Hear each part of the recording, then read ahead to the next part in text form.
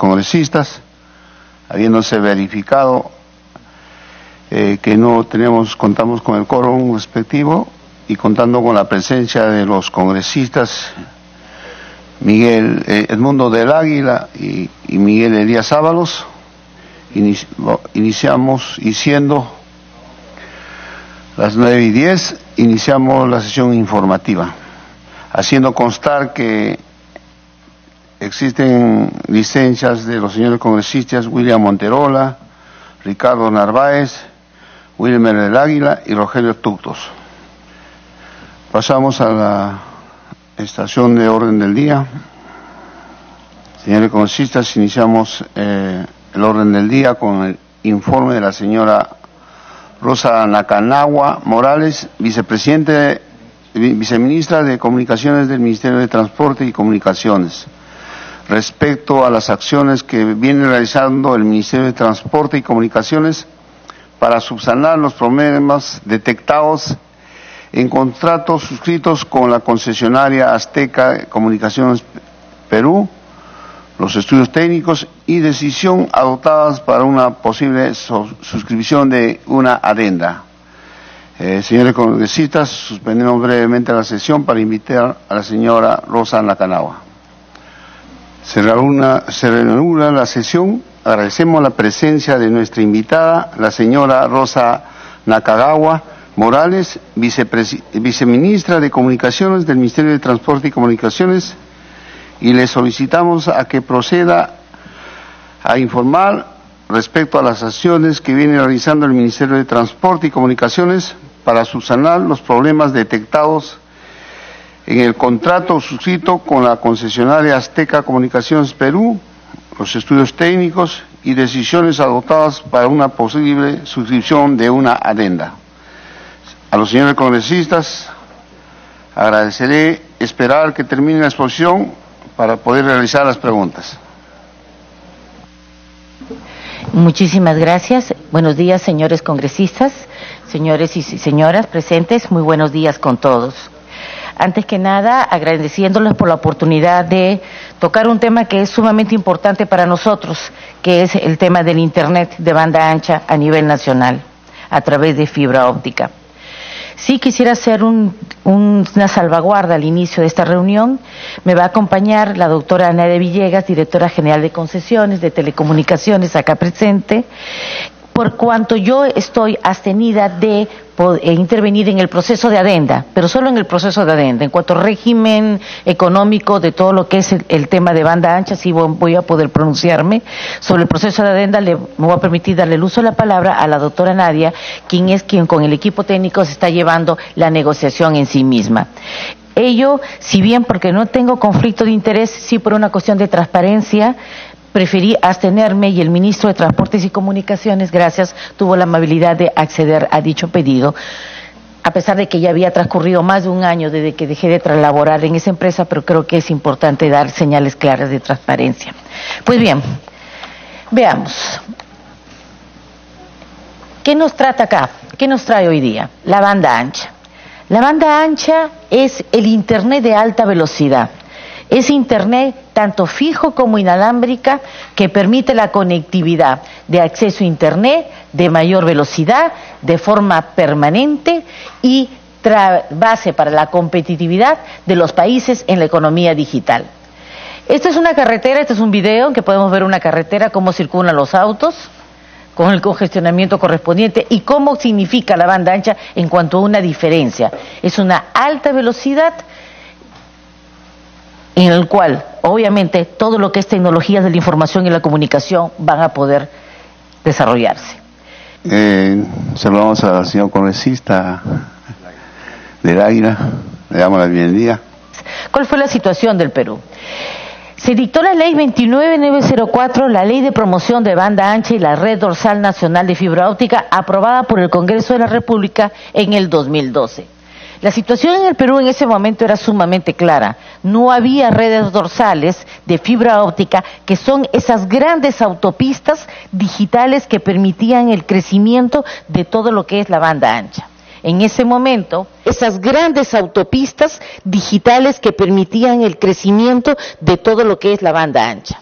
En ese momento se dicta esa norma cuyo objetivo era impulsar el desarrollo, la utilización y la masificación de la banda ancha, despliegue de infraestructura, servicios, contenidos, aplicaciones y habilidades digitales. ¿Cuál era el objetivo? Hacer crecer las redes, llegar hacia donde la actividad privada no llegaba ir hacia las zonas rurales o de preferente interés social. ¿Para qué? Para poder traerles tecnología de última punta y poder llevar todo lo que es esa transformación digital, telesalud, teleeducación, etcétera.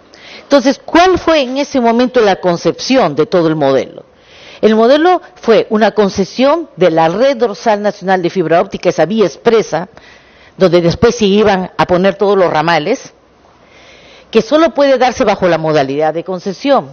Un operador neutro para garantizar que no hubiera prácticas anticompetitivas, en la cual solamente pudiera brindar el servicio portador de banda ancha. Ese operador neutro solo puede dar ese y único servicio. Y una tarifa única. Una tarifa única en la cual el operador tenía que perdón, el operador estará limitado para establecer tarifas diferenciadas por volumen, distancia, entre otros. Es decir, a diferencia de todos los demás contratos de concesión, en la cual un operador puede darle diferentes alternativas, uno va a una tienda, ve diferentes alternativas tarifarias, ese operador tenía una tarifa fija, es decir, este es tu producto, eres monoproducto y tienes esa tarifa fija. Esas eran las condiciones en las cuales se dictó la norma y se dio ese contrato de concesión en su oportunidad. Siguiente. sí, tienen que cambiarme esta. Reglamento de la Ley de Banda Ancha. Fue publicado en el 2013, el Decreto Supremo 014-2013 MTC. Aspectos relevantes de este reglamento. Una regulación del operador neutral y sus vinculadas la implementación de la red dorsal nacional de fibra óptica se realiza de manera progresiva y se dio el uso de infraestructura de energía eléctrica, hidrocarburos, vial, ferroviaria y empresas estatales para que se instale la fibra óptica en dicha infraestructura. Esas medidas fueron dadas para poder establecer esa red dorsal, esa gran carretera en forma rápida y progresiva. Todo dentro de un régimen económico. Es decir, vamos a establecer, tengo ahora un país, ese país no tiene una carretera que las una todo a una carretera digital. Esa carretera digital era la red dorsal nacional de fibra óptica, a la cual se conectaban o se conectarán los 21 proyectos regionales cual brazos comunicantes que llegan hacia las entidades beneficiarias, los colegios, los hospitales y las comisarías, es decir, los usuarios finales. Esa fue la estructura que se pensó en el 2012. Siguiente. Como pueden ver, aquí hay un modelo conceptual que se diseñó en el 2012. Este modelo conceptual que le decimos del camino de la conectividad es sumamente fácil de entender, pero es prioritario que se entiendan los conceptos básicos que paso a explicar. En el primer lado tenemos a la Red Dorsal Nacional de Fibra Óptica, que se licitó y se le concedió a la empresa Azteca es una asociación pública-privada y debo resaltar que es la única asociación público-privada que tiene el sector de las telecomunicaciones. Es la única. Entonces, tenemos Red Dorsal Nacional de Fibra Óptica, Azteca, que va como una red dorsal por todas los, por todas las regiones, llega hasta las capitales regionales y se une con las redes regionales estas redes regionales tienen dos componentes, como podrán ver. Una red de transporte, A, más una red de acceso, B. Esa red de acceso es la que llega hacia las localidades rurales y a través de una conectividad de fibra más la última milla de microondas llega hacia los colegios, hacia las comisarías, hacia los hospitales. En consecuencia, tenemos un operador, Red Dorsal Nacional de Fibra Óptica, Azteca, más un operador de la red regional, que son estos 21 proyectos regionales, de los cuales los últimos seis se encuentran ahora en proinversión. Y de estas redes regionales hay dos componentes, la red de acceso última milla y la red de transporte regional, que cuando estén culminadas van a regresar al Estado para ser a su vez licitadas de ser el caso. Damos la bienvenida al señor mm, Modesto Figueroa, a Jorge Castro y al señor Martorell. Muchas gracias. Gracias, señor presidente. Entonces, este es el modelo conceptual del camino de la conectividad. Es muy importante que lo entendamos. Repetimos, Red Dorsal Nacional de Fibra Óptica, esa gran autopista digital que va por las regiones, que se une a los proyectos regionales, 21 proyectos regionales, de los cuales 6 se encuentran ahora en proinversión. Y tienen dos componentes, la red de transporte regional más la red de acceso que es la última milla. Entonces, este es el modelo que se une y que fue conceptualizado y plasmado en el 2012, para cuyo efecto empezó, en primer lugar, dándose la concesión vía una asociación pública-privada, y repito, la única que tiene el sector de, de telecomunicaciones, a la empresa Azteca, y los otros proyectos regionales que ahorita se encuentran en fase de ejecución. Siguiente, ¿Cuál fue la situación al momento que se concedió la red dorsal nacional de fibra óptica? Y esto es sumamente importante. Cuando se concedió esta concesión, más la redundancia, el año 2012, solo tenía 13.289 kilómetros de fibra óptica. Damos la bienvenida al congresista Palomino y pasamos a sesión ordinaria. Muchas gracias, señor presidente. Entonces, esta situación es importante porque esta es la foto real. Cuando se dio esta concesión al momento del año 2012, Perú solo tenía 13.289 kilómetros de fibra óptica, de autopistas digitales, de carreteras digitales. Es decir, Telefónica 5.774, América Móvil 3.554, Internesa 1.695 y otras 2.186. Es decir, para la cantidad de kilómetros que es nuestro país, era insuficiente claramente insuficiente y esa situación no había cambiado en varios años. En varios años esa situación se había mantenido. Entonces, siguiente. Se da esta concesión que es para decir, bueno, la actividad privada no va, va, entonces el Estado a través de una asociación público-privada, a través de un cofinanciamiento. Y se da esta concesión por 20 años. 333 millones de dólares de inversión, 180 capitales provinciales unidas, un solo único servicio, recordemos operador neutro, ese es el portador de datos, el portador de banda ancha, el que va a llegar los datos de un lado a otro. Y un adjudicatario que fue la empresa Azteca Comunicaciones. Y el diseño es para 13.500 13.500 kilómetros de fibra óptica desplegada. Firma de contrato 17 de junio de 2014 por una concesión de 20 años. Esos son, esos son los, los, eh, los supuestos por los cuales se dio esta concesión. Dentro de una ley y un reglamento, una actividad privada que no había crecido, situación que se había establecido durante muchos años, el Perú debía reaccionar. Ese fue el concepto del régimen económico de los economistas que evaluaron en ese momento. Siguiente. ¿Qué pasó? La situación actual de la red dorsal nacional de fibra óptica ahora es de 70.585 kilómetros de fibra óptica. La actividad privada reacciona y ante el crecimiento, perdón. Damos la bienvenida al congresista Uchuñagua. No, muchas ¿Continúo? Sí, gracias. 70.585 kilómetros de fibra óptica. Eh, y los números son absolutamente claros, los números no mienten.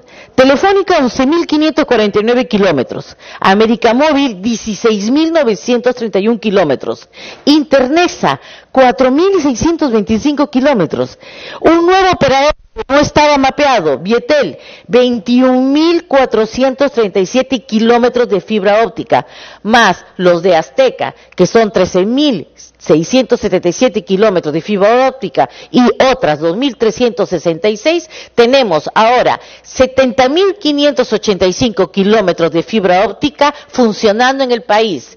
Distritos con nodo de fibra óptica, 833 ¿Qué es lo que genera esto?